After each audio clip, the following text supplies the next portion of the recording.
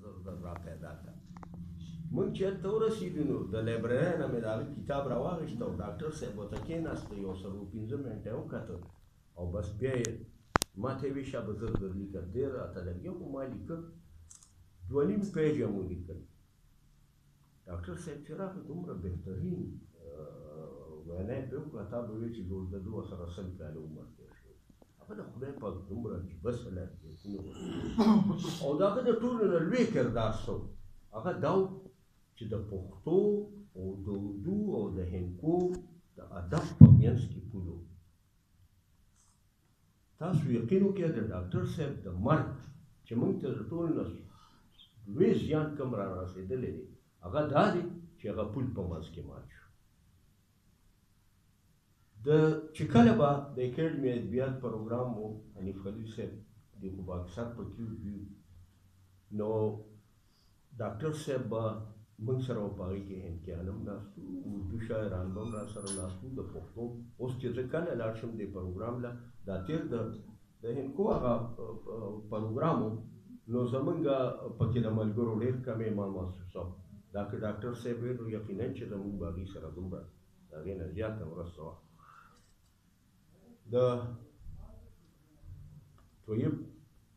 او د ډاکټر صاحب او د افکار صاحب دې خو ډېره شکریا په دې ادا کوم سلیم راز صاحب یو بل اړخ ته اشاره وکړه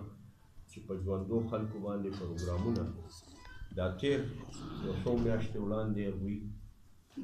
په اسلام آباد کې په اکیډمي ادبیات کې په اشرف غمګین باندې پروګرام وکړو دا زمونږ د چارسدې لپاره خاص کر د پښتو ادب دپاره خو بیا د چارسدې دپاره په موږ باندې د هغوی یو ډېر لوی بدل دی. طیب خو د چارسدې دی د هغه خو احسان نه منو خو ډاکټر صاحب دي او افکار صاحب دي چې کوم درناوی موږ له راکړ کوم عزت یې راله راکړ نو د تینک فورم د اړخ نه زه د هغوی ډېره زیاته شکریا ادا کوم په دغه پروګرام باندې چې هغوی هلته په اسلام اباد کې وکړو او ډېر په درناوي موږ له ډېر دوې درناوی راکړ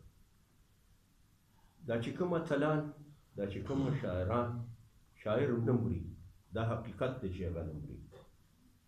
خو د هغوی یادونه یا یادګیرنه دا د اثر کې د روانو خلکو ذمه واري وي چې هغه یاد کړي او د هغه یادګیرنه وکړي نو څنګه چې مشر په خپله وینا کې دا خبره وکړه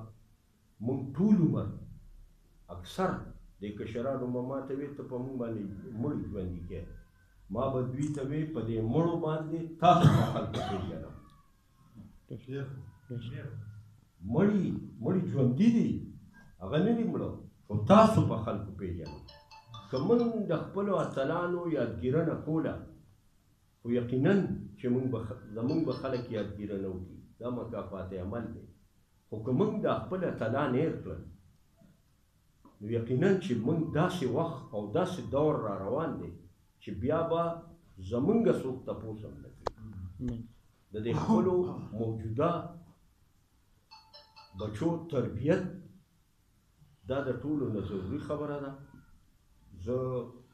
دا چې کومو ملګرو دا پروګرام را جوړ کړی دی د هغوی ډېره شکریا ادا کوم